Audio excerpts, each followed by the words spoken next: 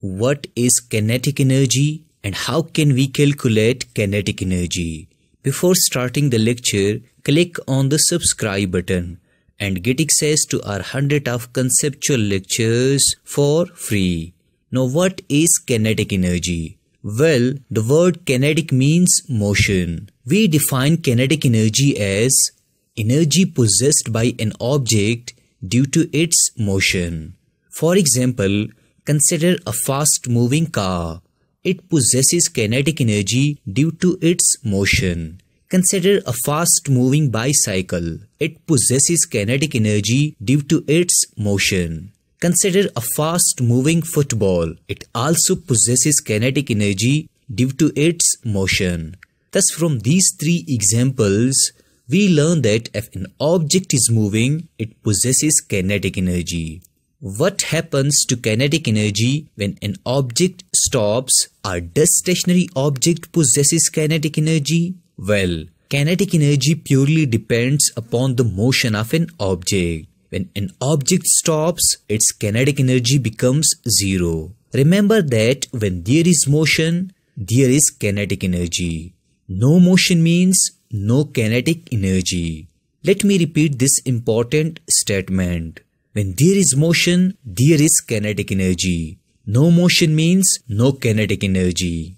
Now let me give you one another example. Consider an airplane moving above the earth at certain height. Does it possesses kinetic energy? Well, the answer is yes. It possesses kinetic energy because it is in motion. But it doesn't only possesses kinetic energy, it also possesses gravitational potential energy due to the earth's pull. Remember that if we consider only this moving airplane and neglect the surrounding around it, then this airplane only possesses kinetic energy. But if we consider this moving airplane as well as its surrounding, then it possesses both kinetic energy and potential energy. Let me elaborate this point more precisely. Consider a single moving charge and the space. We know that it is in motion, hence it possesses kinetic energy.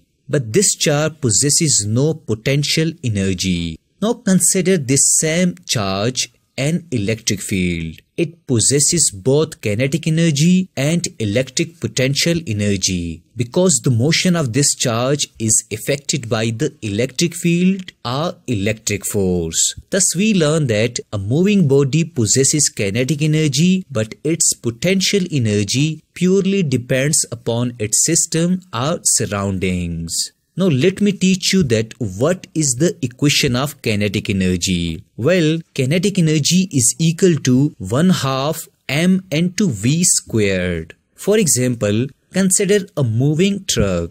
Let the mass m of this truck is 200 kg and the velocity v of this truck is 800 meter per second in this direction. If we know the mass of an object and its velocity, we can easily calculate its kinetic energy. Thus, we simply plug in the value of mass and the value of velocity in this equation. Kinetic energy is equal to 1 half 200 kg and to 80 meter per second squared. After calculation, we get kinetic energy is equal to 6.4 times 10 to the fifth joules.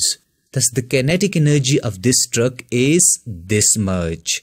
Remember that the SI unit of kinetic energy is joule and kinetic energy being energy is a scalar quantity. Also remember that if mass is given in grams and velocity in kilometer per hour then always convert grams into kg and kilometer per hour and to meter per second because a lot of students do this mistake while calculating kinetic energy. Finally, let me teach you the most famous concept regarding kinetic energy. For example, if the speed of a car increases two times, the kinetic energy changes by factor dash. Well, such type of MCQs are very common but they aren't difficult. We know that kinetic energy depends upon mass and kinetic energy depends upon square of velocity. If speed increases by 2 times, kinetic energy increases by 4 times.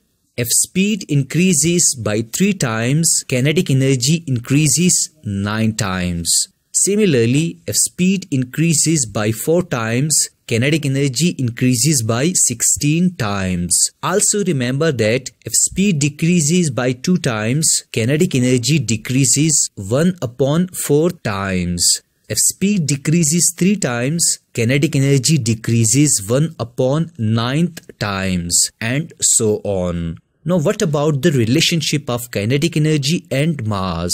Well, it is very simple. If mass increases by 2 times, kinetic energy increases by 2 times. If mass decreases by 3 times, kinetic energy decreases by 3 times and so on. I hope that you have learned the concept of kinetic energy.